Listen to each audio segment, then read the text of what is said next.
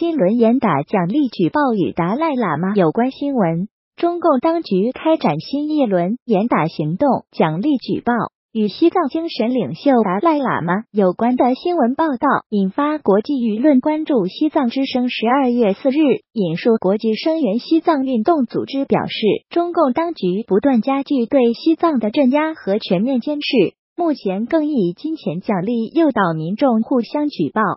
只会进一步加深当地紧张局势，破坏藏人间的相互信任。中共当局近期在西藏发布扫黄打非工作举报奖励办法，所谓的非法内容包括了阅读、收听甚至谈论与达赖喇嘛有关的国际新闻报道，而若将相关行为向当局举报。便可获得高额奖金。国际声援西藏运动指出，中共当局的新一轮举报奖励措施，同样在试图怂恿所有公民充当其安全工具，这使得藏人的日常生活和普通宗教活动都可能被冠以非法或反动思想、狭隘民族主义思想的罪名。